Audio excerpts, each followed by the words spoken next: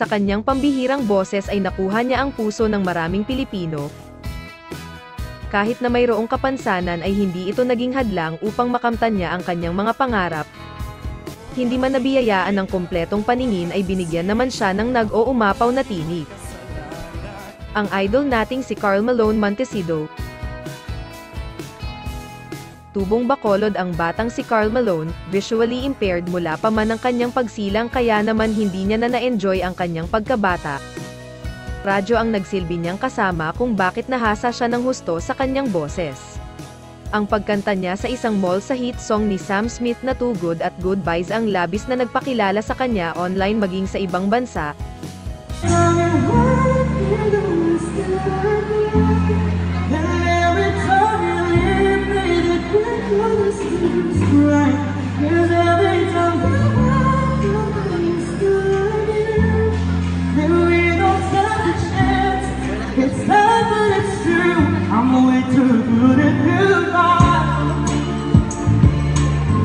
At sa katunayan, ay kasama siya sa semi-finalists ng Pilipinas Got Talent Season 1.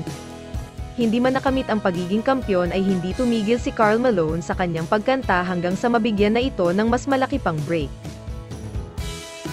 Ito na nga ang pagsali niya sa tawag ng tanghalan. Isang contestants mula sa Visayas na nagbahagi ng kanyang madamdaming boses sa kantang Lead Me Lord, Lead me, Lord. Matagumpay na naagaw ang golden mikropono at nagtuloy-tuloy sa kompetisyon hanggang umabot sa semifinals at isa sa mga grand finalists. Nagawa mang mapasama sa top 5 ng patimpalak ay bigo na siyang makaabante pa sa top 3 ng huling tapatan at nagtapos lamang sa ikalimang pwesto. Pagkatapos man nito ay taong 2019 ay muli siyang nagbalik at naging contestant sa The Clash ngunit hindi na siya nakaabante pa, Makalipas nito ay hindi pa rin siya tumigil sa pagkanta at eto na si Carl Malone ngayon, isa ng 22-year-old tatay at meron ng sariling pamilya. Si Carl Malone ay kasal na sa kanyang wife na si Crescenta at meron ng isang anak na lalaki. Dahil nga sa kanyang isyo na kinasangkutan nakaraang taon ay hindi naging madali para magkabuo ulit sila ng asawa at anak. Ngayon ngang nasa ayos na at kasama niya na ang kanyang asawa sa iisang bubong ay gumagawa na ito ng kanyang bagong journey bilang tatay. Ang kanyang pagkanta ay hinding-hindi niya pa rin iniiwan at patuloy ito na maipamahagi pa ang kanyang napakagandang tinig. Ginagamit niya rin ito sa kanyang YouTube channel at doon ay kumakanta siya at nag-o-online gig para sa mga viewers.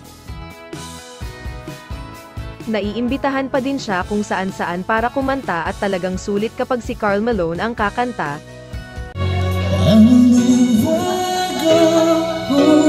Even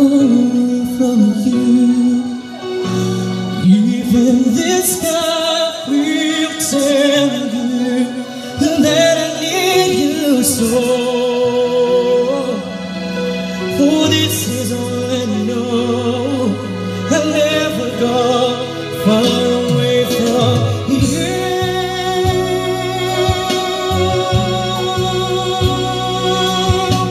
Talagang nakakamangha ang talento ng ating idol na si Carl Malone Montesido.